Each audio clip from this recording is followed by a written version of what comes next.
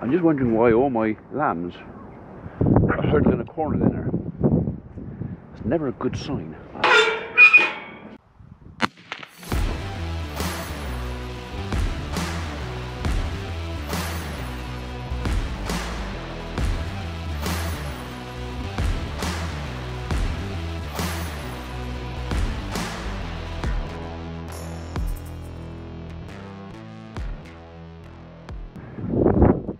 Morning world, welcome to Wednesday 22nd of July 2021 and today is the day Audrey is moving into her new home. Um, we've got some bits and bobs of furniture to bring down uh, before she gets to us. Things like her essentials, her kettle, her Alexa thingy, um, TV and bits and bobs so she can go on and be entertained while we're fetching the rest of it and then it's the last of the furniture I suppose. Uh, we're discouraging her from bringing too much because she's currently in a three bedroom townhouse and there's not enough room for everything. There was never going to be enough room for everything. But anyway, ah, that might explain it. I don't know if you can see it. White pickup behind the hedge down there. That might explain why all my sheep are in the corner. They've either gone to the corner because they've heard the neighbour calling his, or he's shepherd by the way, or perhaps his dog came out and it inadvertently rounded up mine. I've gotta go and check him anyway, so we'll wander down and have a look.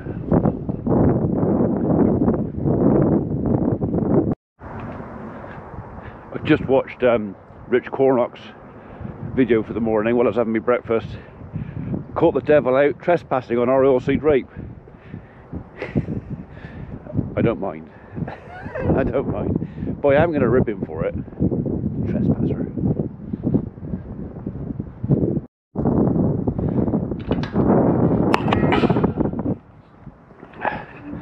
I've had one or two folks say to me, well, if you don't want people wandering all over your land, maybe you should mark your footpaths better. I don't know. Can you um, can you not see that? I mean, that that to me looks like that way. Or is that just simple farmer logic? And you know, I don't know. So, does that footpath say anything about wandering around over there or over there? Not to me. Yeah. We did have a bit of a bit of a cold one last night. Right, boys and girls. Some of them are let down in there. They might just be getting out of the wind.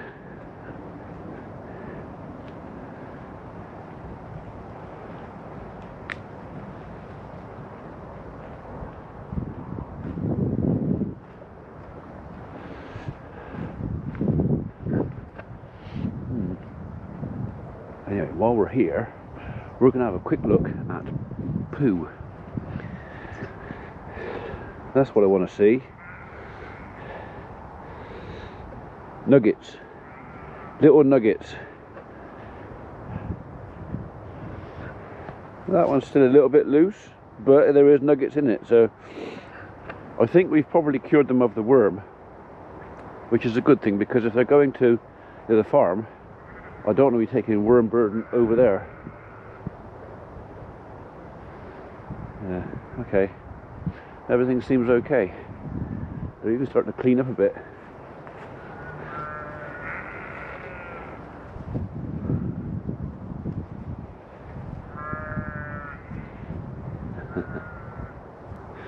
Hi there, boys and girls.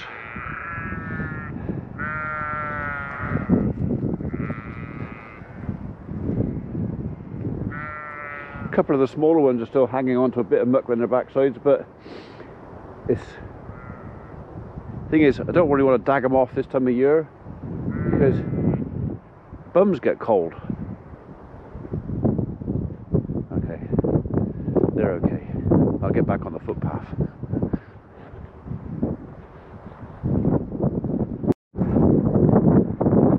That was bad timing. The skip lorry's just turned up.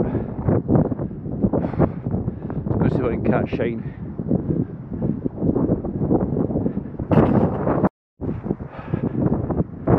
I chose the wrong hat today. I'd be better off with my Elmer Fudd today. That's whistling round my wickers.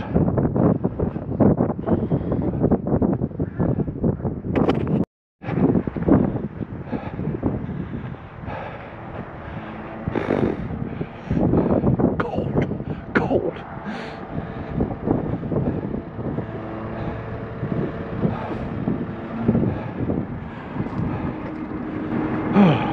That'd be nice having another mud light away. I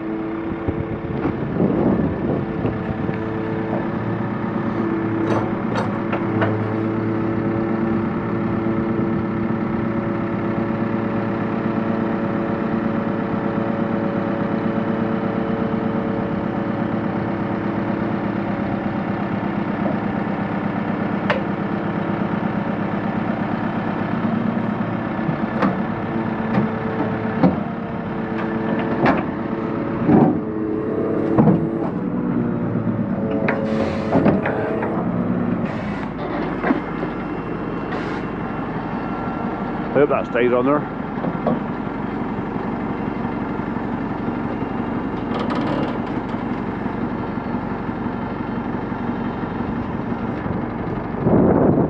That ain't going nowhere. Alright, I'll get the gate. Thanks, mate.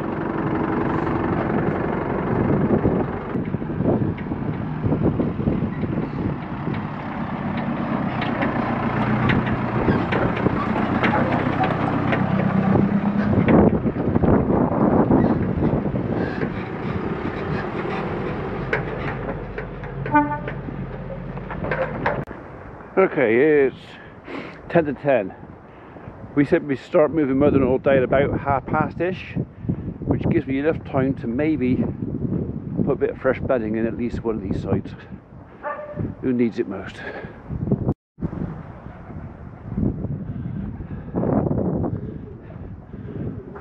You could do with a bit in there, but actually you're not, it's not that wet.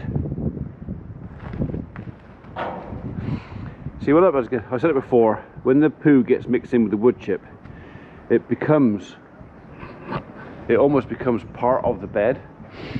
Uh, you could do with a little bit though. Just chuck that over there before someone starts to chew it. And that one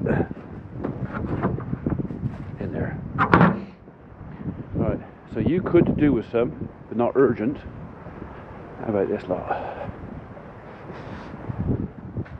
Right, boys and girls.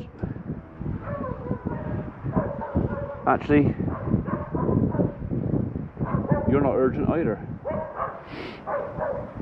I think actually I might move the mother-in-law first and do bedding later on. That's the plan. So I suppose the next question is, do I take the high sides off of my Defender or am I better off leaving them on there? I might actually be better off leaving them on there. I think I'll take him out the back and just put brush through it though. You know, maybe. Right, just had a phone call from the guys who do our mugs and stuff to say that they are ready and I have to pick them up by one o'clock because they're off for their Christmas meal. Right, that might alter things a bit.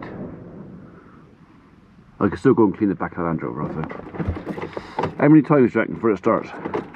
I still reckon three, maybe four. Heat, heat, heat. It's one. Oh, oh, that was a lumpy one. Oh, I wasn't ready for that. Oh, I bet you sure? Nope. That's two.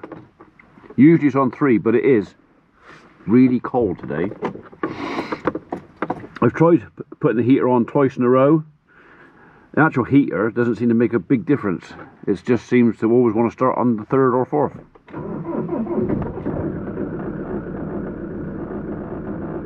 Go figure.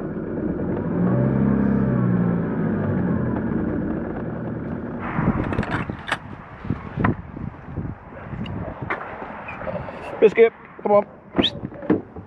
Where are you? In you go.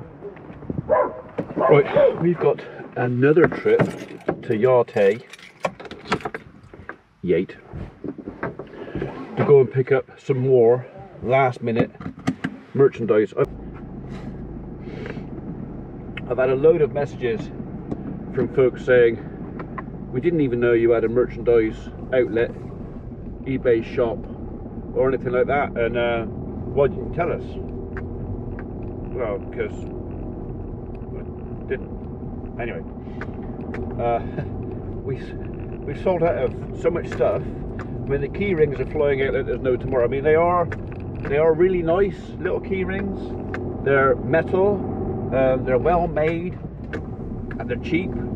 So, um, yeah, I think one person ordered six. I'm assuming they're going to go as um, well. I don't think they're going to get it for Christmas, but maybe late Christmas present. I, I don't know. Anyway, we're off over back to Monarch again now to pick up some mugs. Um, I've done a small run on our two best sellers, which is currently the Farmer P logo uh, mug and the Morning World. Um, we, were, we were always selling out of those things, and we actually sold out of those in the summer. Just never bothered replacing them. So we've ordered a few more of those. Um, like I said, we've not gone mad at it because after Christmas, sometime in the new year, we'll go over and see the guys at Monarch and we'll sit down and we'll literally just do some fresh new designs. Um, one or two of you have actually got almost everything that I've ever produced, um, which is um, humbling surprising but yes, thank you very much for the support. Right, anyway, off to Yate, pick up some mugs. I'll show you the two designs I've come, I'm bringing back because, uh, like I said, a lot of our newer subscribers and that have never actually seen them because they haven't gone back in the back catalogue and, and actually seen what we do. Um, so yeah, I'll show you the two mugs we're bringing back. it will be limited quantities. Literally, I think it's 50 of one and 30 of another. Limited quantities. So yeah, when they go, I just order some more after Christmas. What are you grumbling about now? Right, that is a couple of boxes of mugs picked up. I just had a chat with the boss man and said, um, how did he feel about me perhaps going in next year with a video camera and recording how they make our mugs um, or print our mugs, how they do the biscuit toys, um, they may or may not do some t-shirts for us. They don't actually do the t-shirts there. That's outsourced for them. Um, so maybe not so much on the clothing, but yeah. So things like the key rings, the toys, and the mugs, and the caps. That's where they're all made in one place. So and it's all what eight, nine miles away from home. It's taken me 15 minutes to get here. I've always been a great believer in trying to keep business or my custom as close to home as possible because the way I look at it, if I spend it local, sooner or later some of that money comes back to me. If I spend it in China, I'll never see that pound again. Gone. So, so even if it costs a pound more locally, I'd rather spend it local have some chance of getting some of it back. Thank you. I don't need a wash, thank you. That's my logic.